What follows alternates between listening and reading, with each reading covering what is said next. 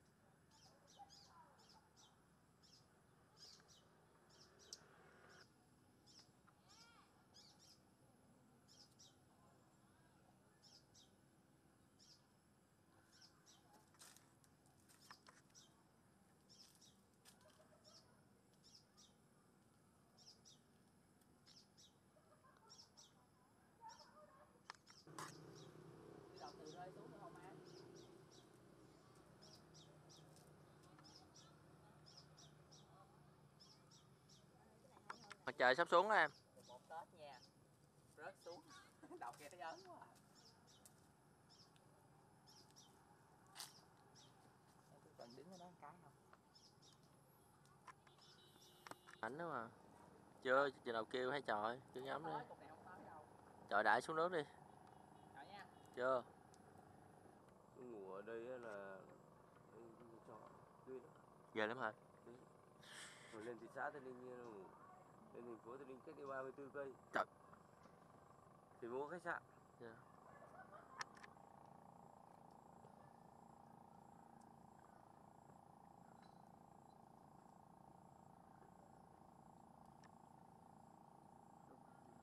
viết xong học bài đi em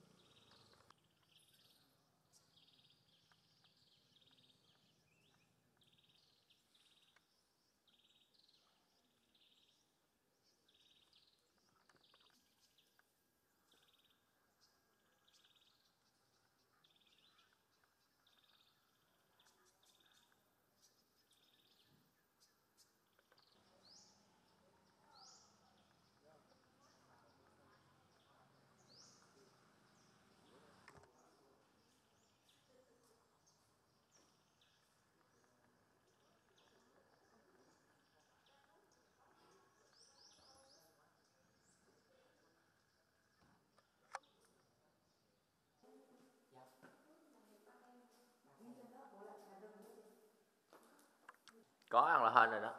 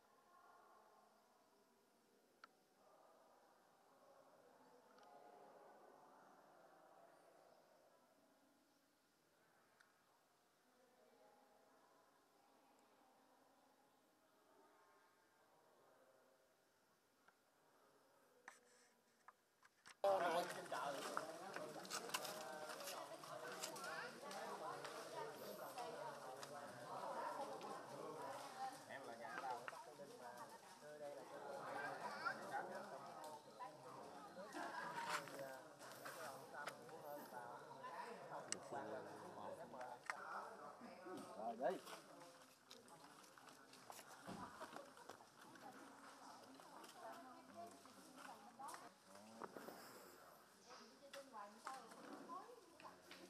anh là món là, là món chính thiện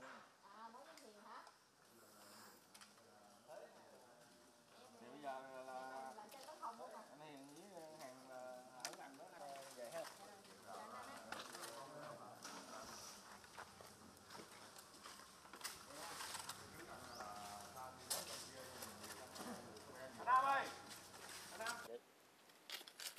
Chị ơi vậy thì khi mà du khách đi đến đây thì có khi nào là du khách bị lạc ở trong khu này không chị?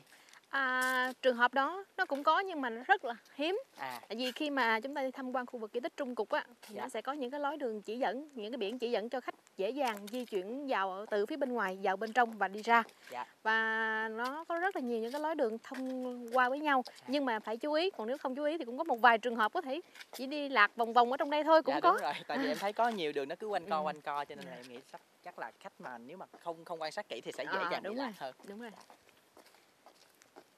Mình đã sắp tới chưa chị? Dạ chị Diễm ơi vậy thì mình đã sắp tới nơi chưa chị? Và phía trước mặt của chúng ta đây hiện tại à, chúng ta sẽ à, gặp một trong những à, số những cái căn nhà Dạ. được trùng tu phục chế lại À, ngày hôm nay và ngôi nhà phía trước mặt có tên gọi là hội trường lớn. À.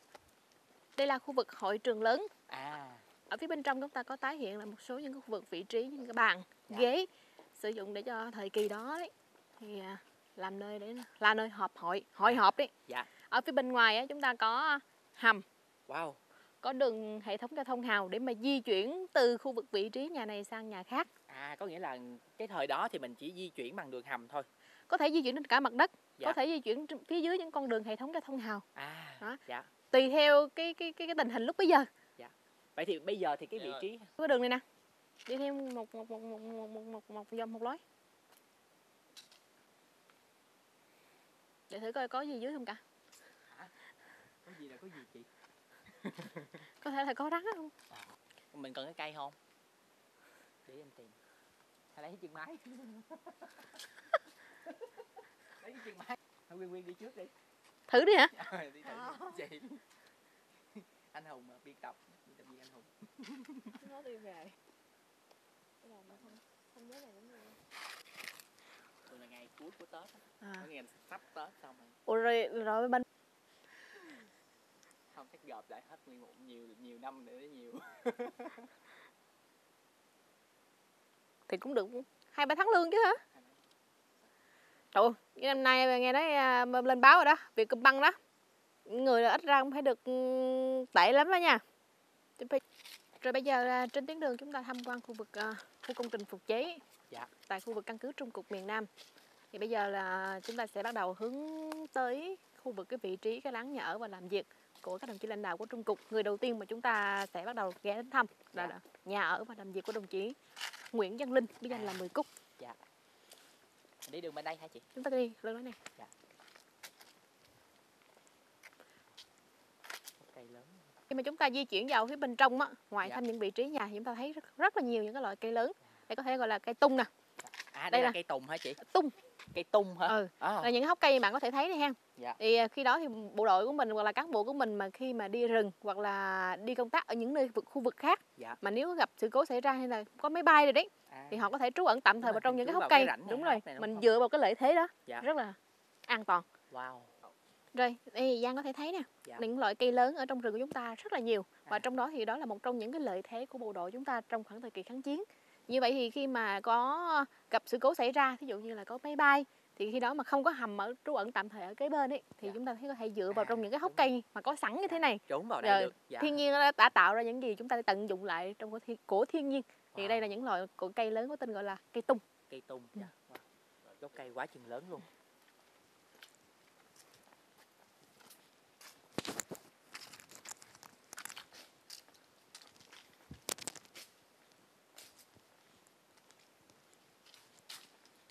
Và bây giờ á, chúng ta đang đến gần hơn với khu vực cái vị trí cái láng nhà ở và làm việc của đồng chí à, Nguyễn Văn Linh với danh 10 Cúc. Dạ. Bây giờ mời bạn chúng ta sẽ bắt đầu mình di chuyển vào phía bên trong. Dạ. Chúng ta có thể à, thăm lại cái nơi mà đồng chí Nguyễn Văn Linh đã từng sống, từng làm việc trong những cái láng nhà này nó sẽ như thế nào. hầm này thì bây giờ mình có đi thông qua được những cái cái láng trại khác không chị À, riêng cái khu vực cái vị trí bố trí hầm ở đây Dạ. à, chúng ta gọi là bố trí bắt buộc luôn đấy nếu Dạ. mà nhà của lãnh đạo là phải đặt một khu vực vị trí hầm ở phía trong cái khu vực vị trí nhà này tên gọi là hầm chữ A hầm chữ A và từ cái hầm chữ A này nó sẽ thông với cái đường hệ thống giao thông hào lúc nãy mà chúng ta thấy nó là nó chạy rít rắc lúc À. nãy ở phía bên ngoài của những cái con đường mà chúng ta mới di chuyển dạ à vậy là từ từ cái cái hầm này mình sẽ thông ra cái đường xích đó, đó. Dạ. Là có nghĩa là thông với cái con đường hệ thống giao thông hào lúc nãy đấy. À, chứ không phải là từ cái hầm này thông qua cái nhà khác mà thông qua một đường hầm mà Đúng- đi ra đường đúng rồi. Nó sẽ thông với cái đường giao thông hào sau đó mới sẽ đi sang những ngôi nhà khác. Dạ. Ừ. rồi bây giờ đây là cái khu vực cái vị trí đặt cái cái cái giường à, mà bác có thể ngủ nghỉ ở đây. Dạ. và thí dụ đầu là lúc nào cũng hướng bên trên đây bạn có thể sợ được thì là đây là khu vực mà cái cái cái cái được làm bằng tre nè Dạ. một trong những cái loại mà cây có sẵn ở trong rừng của chúng ta cái luôn này cũng là gỗ ở trong Đúng rừng đúng không đúng rồi chúng ta Dạ. sử dụng để làm những cái loại bằng như thấy là giường kệ đều làm bằng tre Dạ. tại sao là phải nằm quay hướng đầu về đây vậy chị để khi nguyên nhân đó, đó là khi mà chúng ta đầu hướng về đây ấy hầm thì ở phía dưới để khi À. mà có sự cố xảy ra thì di chuyển nó sẽ nhanh hơn dạ vậy thì tại sao mình phải nằm đầu quay hướng về phía bên này vậy chị để chúng ta như vậy thì khi mà chúng ta nằm hướng đầu bên đây á là nếu có sự cố xảy ra thì các À, đồng chí chúng ta tranh thủ được cái thời gian xuống hầm liền đúng rồi luôn. chính xác À, nó sẽ bắt đầu là tiết kiệm được cái thời gian để chúng ta di chuyển xuống hầm Dạ, và nó an toàn hơn cho với lại nữa. đúng rồi chính xác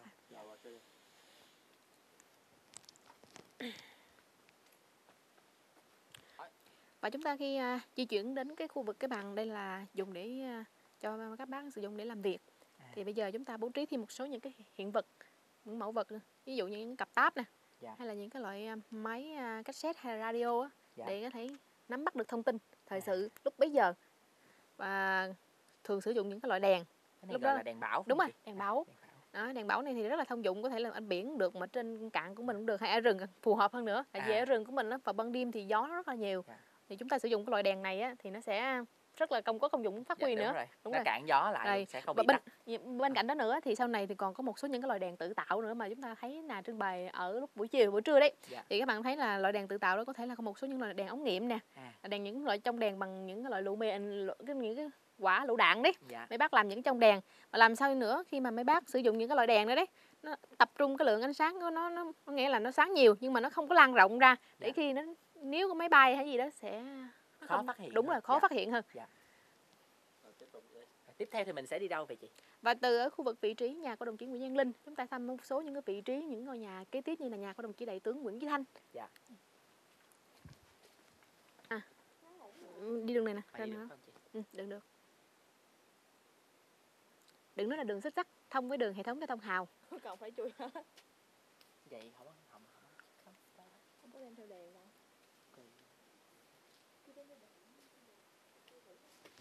hình thật của Ừ, hình thà có đồng chí Nguyễn Nhân Linh luôn á Tây Ninh. Nhưng mà cái rừng rùm đuông thời kỳ đó nó rộng lắm. Có thể là ở vị chính xác vị trí này có thể là cái vị trí kế gần kế bên đây nữa. Chứ đừng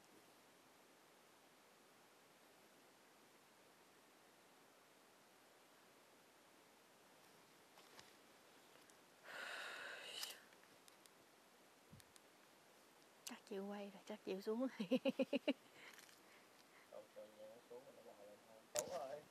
ý nó chạy từ đây ra ngoài kia thôi anh vòng vô vòng ra thôi không không dùng xuống hầm phải không Rồi Giang, một mình đi vô. Nó mò. Ờ, qua lô chui kẹt kẹt kẹt cái ba lô với cái người ở trong luôn. Đây, có cọng dây điện ngay đây hay gì đó không không có điện đâu mà đặng đừng lo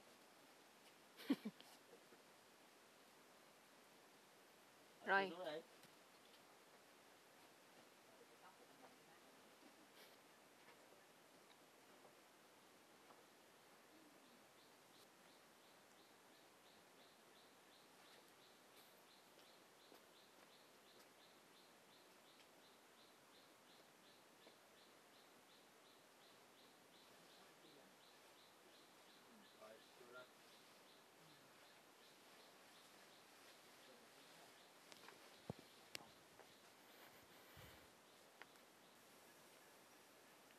Đây thì tới đâu nữa chị?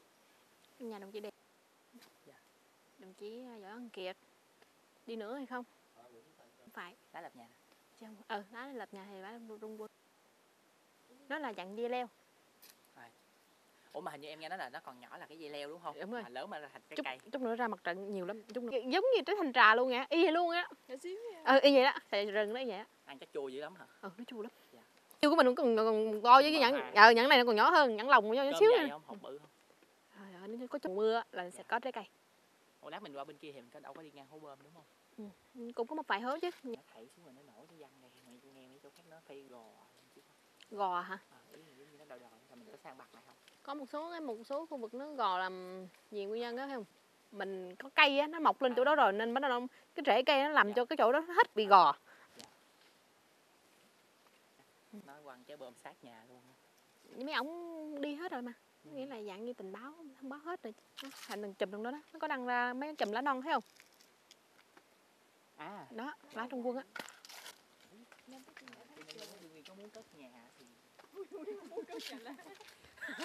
Giờ muốn sao dịch. Chị ơi vậy thì ờ, bây giờ mình sẽ đi đâu tiếp chị à, từ khu vực vị trí à, cái láng nhà ở làm việc của đồng chí Nguyễn Nhân Linh. Bây giờ Dạ. chúng ta đang di chuyển dần sang đến cái khu vực vị trí nhà ở và làm việc của đồng chí đại tướng Nguyễn Chí Thanh à, bí thư của Trung cục miền Nam từ năm 64 đến năm 67 dạ. Bây giờ chúng ta đang trên đường để à, rẽ vào để chúng ta thăm lại à, nơi ở và làm việc của đồng chí. À. chị ơi vậy thì địa điểm tiếp theo là mình sẽ đi đâu vậy chị Bây giờ là xin mời Giang chúng ta sẽ tiếp tục chúng ta di chuyển thăm đến một trong những cái vị trí nhà của một vị đồng chí kế tiếp đó là nhà ở và làm việc của đồng chí đại tướng Nguyễn Chí Thanh. Bây giờ À. chúng ta sẽ bắt đầu rẽ vào ở Dạ. cái bên trong để chúng ta thăm lại nơi ở và làm việc của đồng chí. Dạ.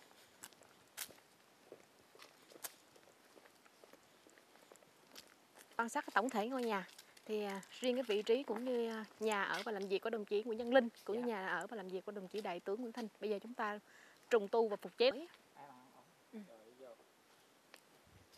Bây giờ xin mời Giang chúng ta sẽ bắt đầu mình di chuyển vào phía bên trong để Dạ. chúng ta thăm lại cái nơi ở và làm việc của đồng chí nó sẽ như thế nào. Dạ. Rồi. Đồng chí đại tướng Nguyễn Chí Thanh á, sinh năm 1914, nguyên quán là ở tỉnh Thừa Thiên Huế, tên thật là Nguyễn Dịnh. Dạ. Chức vụ mà đồng chí đã từng giữ trọng trách cao nhất ở Trung cục miền Nam này chính là bí thư của Trung ương cục miền Nam và là chính ủy các lực lượng vũ trang ở miền Nam từ năm 64 đến giai đoạn năm 1967. Dạ. Mất vào ngày 6 tháng 7 năm 1967, hưởng dương 53 tuổi. Và đây chính là cái vị trí, cái nơi ở và làm việc của đồng chí. Lúc bấy giờ trong khu căn cứ Trung ương cục miền Nam vẫn tái hiện lại có bàn ghế, có giường kệ và cũng vẫn có bố trí một khu vực hầm giống như là lúc nãy mà chúng ta đã thăm đến nhà của đồng chí Nguyễn Nhân Linh hay là đồng chí Mười Cúc đó là hầm chữ A. Dạ. Và trong những vị trí nhà ở đây thì à, Giang và cũng như các bạn nếu có thể thăm trung cục thì cũng có rất nhiều câu hỏi tại sao là nhà của lãnh đạo chúng ta rất là đơn giản. Nó không không không không nhìn nó không quá là cầu kỳ lắm. Dạ. Tại vì khi mà chúng ta hoạt động ở rừng á thì để dễ vấn đề mà chúng ta quan sát và di chuyển và hai nữa và điều kiện thứ ba nữa đó là dễ thở hơn có nghĩa là có một không khí nó thoáng hơn Dạ. nên là chúng ta làm nhà cửa nó phải thoáng như thế này À. chủ yếu là dùng tăng những cái tấm tăng ở phía hai bên hông nhà thế này. Để chúng ta phủ xuống khi mà có trời mưa hay trời gió vào ban đêm thôi Dạ. còn không nữa chúng ta chủ yếu là lấy chủ yếu là lấy cái không khí và đón gió thì những người mà ở trong những ngôi nhà này hay là những cái láng nhà như thế này thì nó sẽ cảm thấy thoải mái hơn nhiều chị em thấy ở trên nhà này mình lợp bằng lá thì lá này gọi là lá gì chị ha và những một trong những cái loại lá rất là một cái tên gọi rất là đẹp Dạ. chính là trung quân à, À, trung chúng ta quân. được nghe rất là nhiều người nói đến cái loại lá trung quân này Dạ. và đặc biệt chính là các đoàn các cô chú đã từng tham gia cách mạng các cô chú đó thì có thể là có người đã từng bẻ rất là nhiều thời bẻ rất là nhiều lá trung quân rồi đặc biệt Dạ. là các cô À. Là nếu mà chuyên bẻ lá trung quân này thì cái nôm nó là không còn gì là xa lạ nữa và À. có rất là nhiều những cái kinh nghiệm để bẻ lá trung quân hay nữa là chầm và lợp trên những cái mái nhà mà chúng ta đang thấy ở đây Dạ. bây giờ chúng ta tái hiện lại thì vẫn sử dụng cái lá trung quân vậy thì Và- tại sao mình sử dụng lá trung quân để lợp nhà vậy chị vì đặc điểm của nó chính là nó dai nè nó bền nè hai À. nữa là nó hạn chế cháy wow hay là nó khi mà nếu thật sự khi mà nó có bị cháy rồi đấy Dạ. nếu không có động lực bắt lửa nữa thì nó sẽ tự tắt nó không có bị cháy lan wow. ra toàn bộ cái nhà nếu nó không có động lực thì như vậy thì chúng ta gọi là nó ít có khả năng cháy Dạ. Nên là nên là chúng ta lấy cái tên rất là đẹp để đặt tên cho cái loại lá cây rừng mà Giang cũng đang thấy ở trên những cái mái nhà này chính là lá trung quân À, thời gian của nó cũng rất là bền luôn À, nó tùy theo. À. Ví dụ như ờ có năm mọi một số những hàng năm, ví dụ như mà nó dày hơn so với các loại lá khác. Dạ. Nhưng mà có thể là những một số những cái vị trí, ví dụ như nó càng ẩm ướt thì có thể là nó nhanh mục hơn, nhưng mà À. có thể là có thể là thời gian của nó bảo quản cũng khác nhau, có thể là chúng ta nói chính xác thì nó không nói chính xác được. dạ Đó. Rồi tiếp tục nữa, xin mời Giang cũng như là các bạn đang xem chương trình, chúng ta sẽ tiếp tục di chuyển tiến hành trình của mình để thăm trong một thăm tới những cái vị trí kế tiếp và ngôi nhà kế tiếp mà chúng ta sẽ ghé đến thăm đó chính là nhà ở và làm việc của đồng chí cố thủ tướng võ văn kiệt hay là đồng chí sáu dân là tên gọi của đồng chí đã từng hoạt động trong kháng chiến và đến hiện bây giờ chúng ta vẫn thường hay gọi. À, bây giờ xin mời dạ. bạn. Đó là ừ, có liên hệ luôn với cái vườn quốc gia nhưng bây giờ em chị anh có có có có, có gì có ai quen ngoài đó có gì? Anh phương chắc cũng lớn rồi hả chị? Anh Phương hả? Chắc lớn rồi. Hành anh tuổi thân á. À. bảy mươi à, bảy mấy không biết? bảy bảy bảy bảy hình như bảy tám mà gì á. Sinh năm có đứa con nữa con đi ở nhà. Giờ anh đang bán căng tin cái bên đó à vậy thôi À, cũng đỡ. thì bảo con, vậy. để con để ở nhà. Đúng rồi con ở nhà thì chăm học hành ở dưới trường đồ dưới dưới đây không có trường học nữa. Học bên đây này nó phải dùng biên giới thiếu thốn kiện nhiều.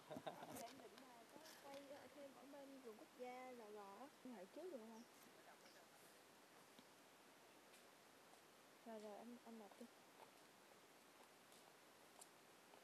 Dạ rồi. Dạ.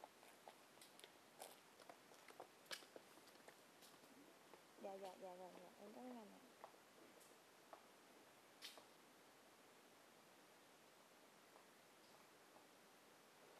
ở đây hay xài Vina ừ, tại đây là khu vực. Nhớ hình như cái việc theo nó có một cái cái cái ấy sim của nó bên bên cam mà ta. Không tất cả các loại sim sim nào cũng chuyển được qua bên cam cả. Dạ. Nhưng mà mình chuyển vậy thì cước phí mình cao hơn. À, Nó- ra đúng rồi. thì khi mà nó mình nghe gọi gì nó cũng tốn tiền. Thì có một số đoạn nhỏ thôi nha Rồi, rồi, là nó vẫn xài sóng của Vina của mình. Nhưng mà việc theo bệnh thì nó cắt luôn. Cắt lên à, Đúng. anh mới mất sống Việc theo ở đây thì xài mạng 3G rất tốt nhưng mà Vina thì không có mạng 3G Ôi dạ nên là giờ là một máy là phải xài 3G một máy là xài điện thoại. À, đó tại do bắt buộc phải xài thằng Viettel là do nó có 3G thời buổi mạng không có 3G Thì đó. Mà nó mắc muốn chết luôn à. Dạ. Bên đây đăng ký từ 900 từ 90 lên trăm hai trăm rưỡi cuối cùng tính mắc mà cao mà Đúng nó rồi. nó vừa vừa cước phí vừa mắc mà tiền 3G nó trừ của mình trong vòng bạn coi ví dụ một đúng ngày rồi mà thấy xài phà phà luôn À, đúng à, rồi. còn rẻ hơn mình có đăng ký gói một trăm mấy À. không bao nhiêu hết là hết rồi thì Viettel bây giờ nó có rất là nhiều gói ưu đãi giống các mạng khác á Dạ. nhưng mà T5 cũng ngàn năm ngày ngày năm ngàn nhưng mà mà YouTube khi mình up lên rồi á là lúc nào nó cũng hạn chế cái cái cái, rồi, cái, dung cái lượng dung lượng của nó lại Dạ. nhưng mà thằng Viettel nó đâu có cần trong đây mình đâu có kéo mạng tới đâu đây hả mạng đây cũng dự định kéo ba vào wifi nhưng mà kéo nó chưa có đủ kinh phí để kéo dạ. À, không có cái trụ phát sóng mình Có kéo rồi, xuống. à. à, là được thôi nhưng mà quan trọng chưa có tiền thôi chứ. Cơ quan không chịu giờ có tiền là làm là là cái gì cũng nhanh cả. Nó thật nhưng mà nó làm dạng tư nhân của quân đội mà. Giờ có tiền thì nó làm cho chứ không có tiền thì cứ nó để vậy đó. Trong vòng nó hứa trong vòng hai năm mà chưa có nè hả? Ừ. Ờ, mình tới chừng khi mình làm mình cũng đóng tiền cho nó thêm nữa chứ có thì đó thì đó. Nhưng mà bây giờ nó Dạ. kéo cái treo cái nó treo nó xuống thì nó đầu vô gần qua vậy đó. Sao dám nhét chai nước suối vô Thì chậm chơi với khỉ. Thì che lại. Gì đâu lo. Giờ thời buổi giờ quan trọng nếu mà phát hiện được nếu mà sợ không phát hiện thôi chứ. Khác vô nước suối chứ sao. Mua nước suối phải mua nước La Uy mới tin tưởng chứ sao. Finan Ờ. ý ý nó là đại truyền hình TV của mình quảng cáo quảng bá Dạ, cho dân nhãn hiệu đó chứ gì. Biết đeo cái ba lô này cũng phải gỡ gỡ cái mặt ra luôn trước em mua Hơi bị tài luôn. Ra thời xưa mấy bác mấy chú mấy anh thì đâu có giỏi lá dừa gì đâu. Toàn lá cây không.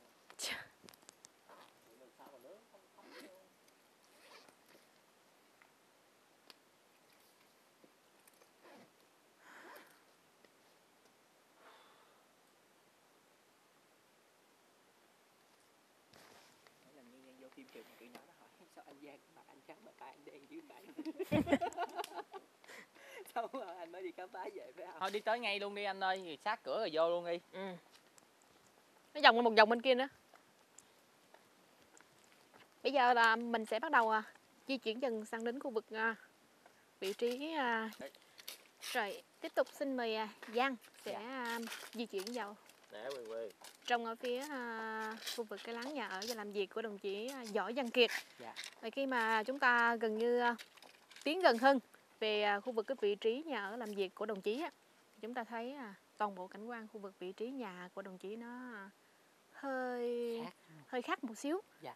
so với những ngôi nhà lúc nãy mà chúng ta vừa mới ghé thăm. À. Nhà này có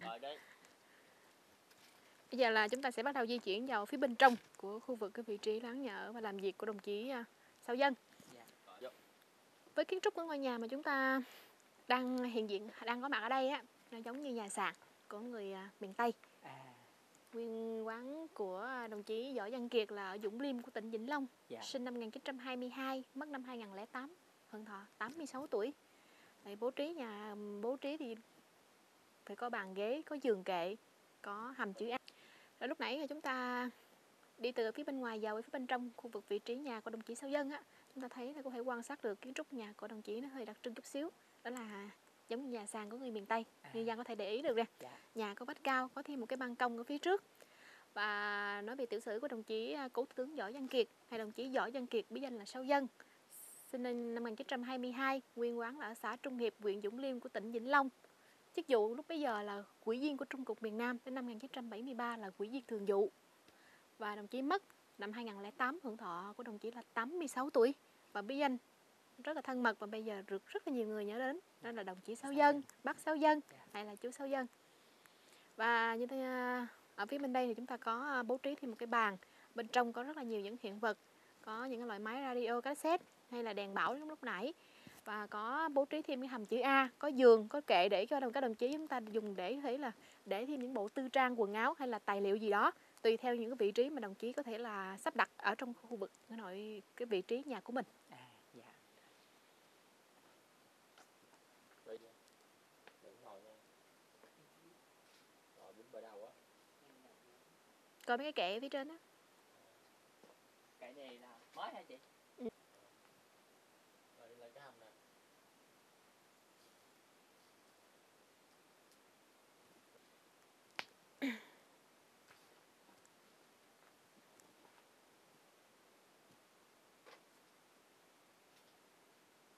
Rồi, quay qua. Bây giờ bức ảnh nhìn bức ảnh anh tí. Rồi, kia không? Nhìn lên cho anh.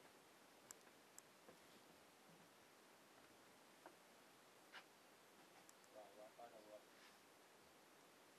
Bụi quá không có gì hết.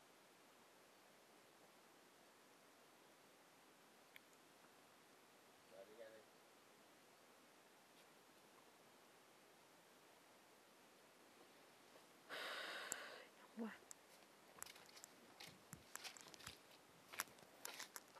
Nào nó sẽ nhanh hơn chứ chạy vô hầm nó sẽ lâu hơn hầm nào ra. À, nếu mình di chuyển thì mình di chuyển xuống cái đường này mình di chuyển đi các nơi á, thì nó sẽ an toàn là như vậy. Dạ. Ví dụ như lỡ ví dụ có máy bay hay gì tự nhiên bạn ra hầm phóng chạy so với bằng đất. Tùy theo tình hình nó sẽ khác nhau thì mình di mình mình áp dụng cách thức nó cũng khác nhau. Người kêu làm mới làm được À thì đó là như vậy đó. Thì ý nghĩa là bên đài truyền hình mình có cấm không hay không chứ. Cấm không anh hả? Không có cấm Ừ. MC thì À. À à à. MC tiệc cưới không làm được. À, à hiểu rồi có nghĩa là cái còn đó là cái cái cái cái, cái gương mặt cái hình ảnh đại diện cho cái đó nữa chứ gì phải không Bây giờ cậu còn đi đâu nữa không? giờ ra luôn nè Chị kêu lên được chưa anh hả? Đúng rồi mà, từ ổng chạy lên cái sân bay gần.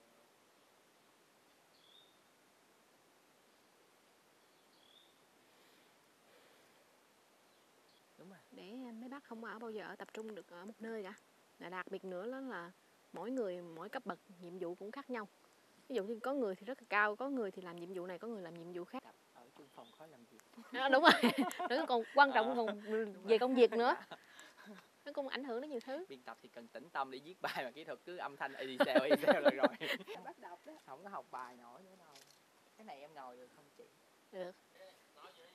Rồi sau khi à, Giang à, đã à, thăm đến khu vực vị trí nhà ở làm việc của đồng chí à, cố thủ tướng Võ Văn Kiệt hay đồng chí Sáu Dân Dạ. bây giờ tiếp tục nữa xin mời Giang chúng ta sẽ bắt đầu mình di chuyển thăm đến khu vực cái suối tên gọi là suối Trò À, nằm tại khu vực Trà. mặt trận dân tộc giải phóng miền Nam Việt Nam Dạ. Phải đi đường này không chị? không có điền kỳ ra nhanh hơn à anh muốn lấy cảnh mình đi chứ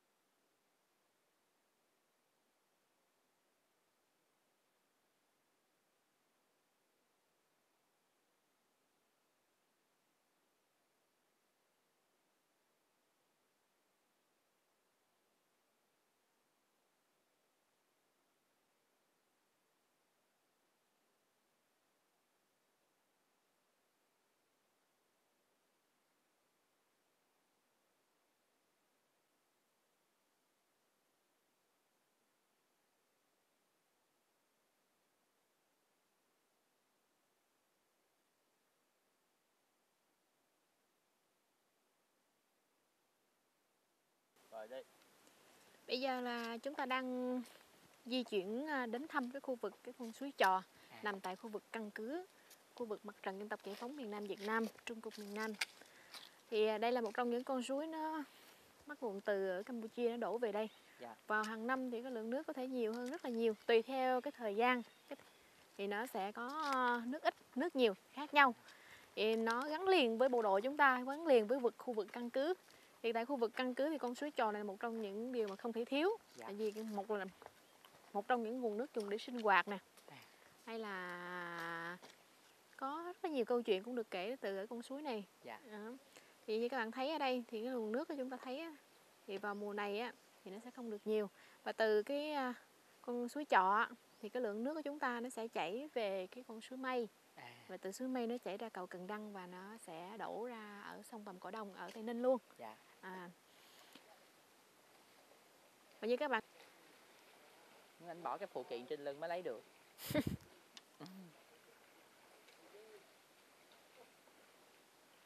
Rồi Giang có thể xuống dưới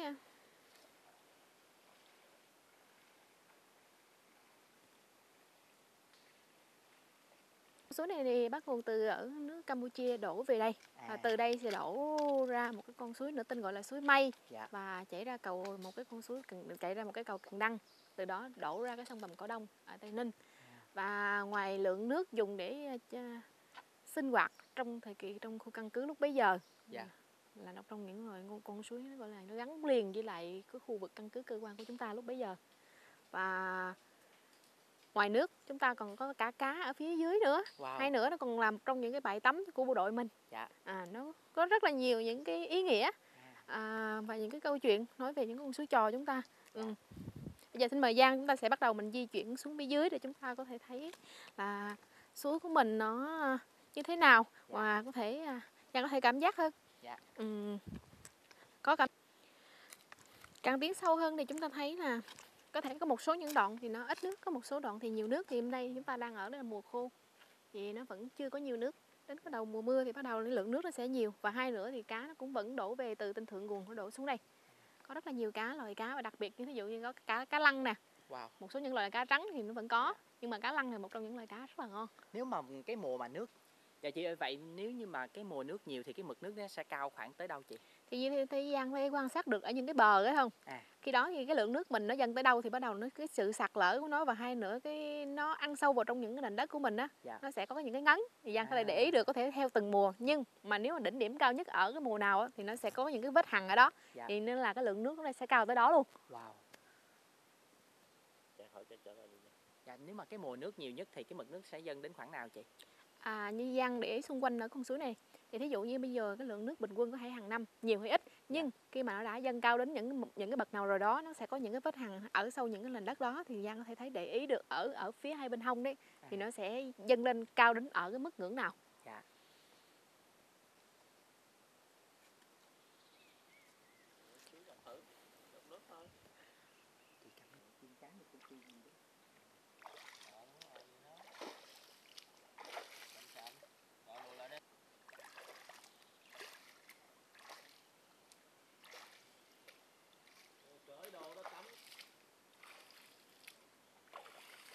siêu bộ đồ nó tắm được mày tắm được nha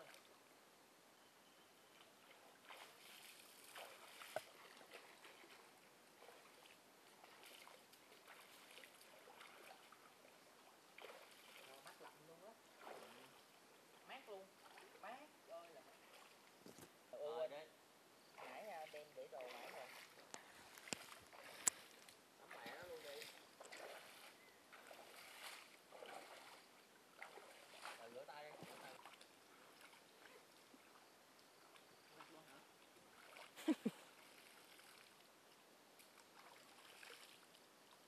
Mà la lên mát quá la lên vậy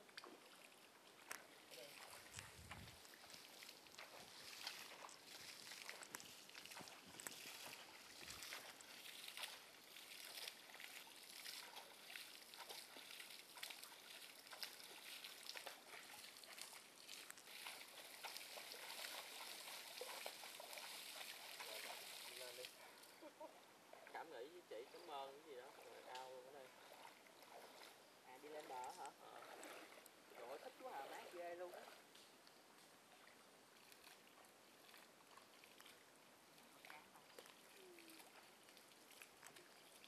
sao không nói mua con cá mua cá lại xuống cho bác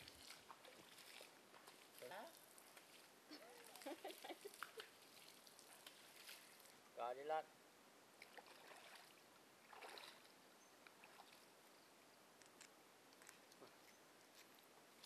Wow, nước Thấy- mát quá chị Diễm ơi. Sao em thấy? dạ nước trong mà mát lạnh luôn á.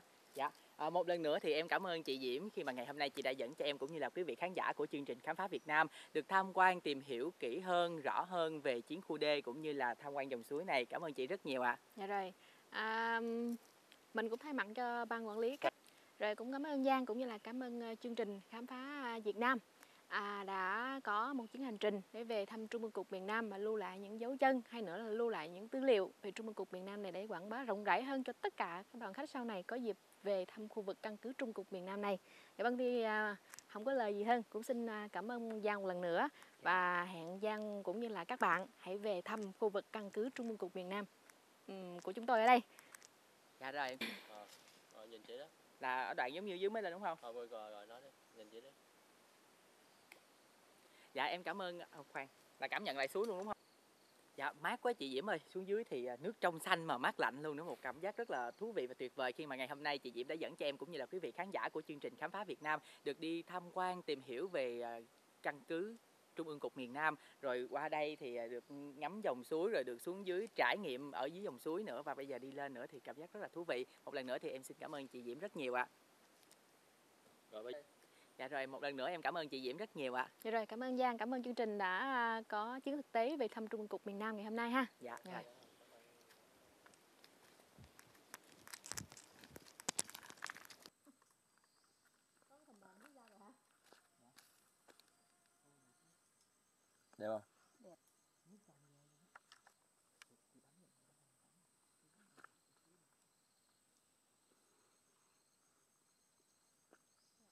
Mà thấy cá nhỏ